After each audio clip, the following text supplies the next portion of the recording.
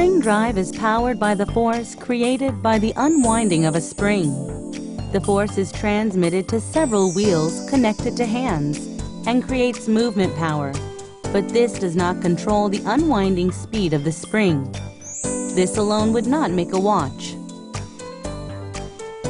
To make a watch move as a watch, several wheels connected to hands are put together, and the last wheel must be braked so that the spring will unwind slowly at a regulated speed. To enable that, traditional mechanical watches used a ring-shaped balance wheel called a balance wheel, which moves back and forth. This oscillation movement set the standard for watch accuracy, and the small collisions between components produced a force to put a brake on the unwinding force of the spring. The friction caused by these collisions creates the unique clicking sound that was also the mechanical component most vulnerable to wear and tear. The accuracy was susceptible to outer conditions, such as slanting posture of the watch or impacts from outside. To overcome this vulnerability in mechanical watches, a new mechanism was introduced in the spring drive system. This new mechanism puts a brake on the wheel without causing collisions among components.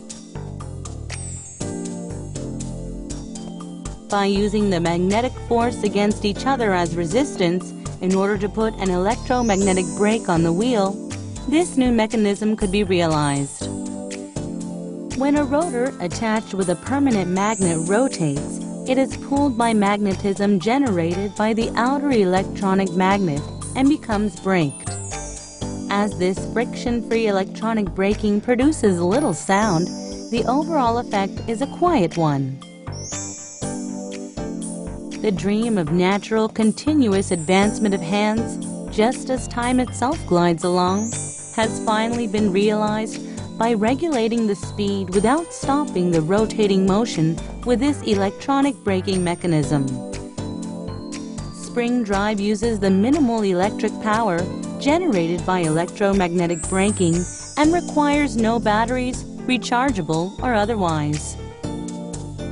The minimal electric power operates IC and vibrates quartz, which produces highly accurate oscillation. This accurate oscillation is used to regulate the force of electromagnetic braking. The IC compares with the velocity waveform of one complete rotation of the rotor against the accurate waveform of the quartz oscillator and then adjusts the braking force to make the rotation of the rotor exactly match the accurate waveform of the quartz. This mechanism finally achieved the accuracy of quartz watches in spring-operated watches for the first time in the world.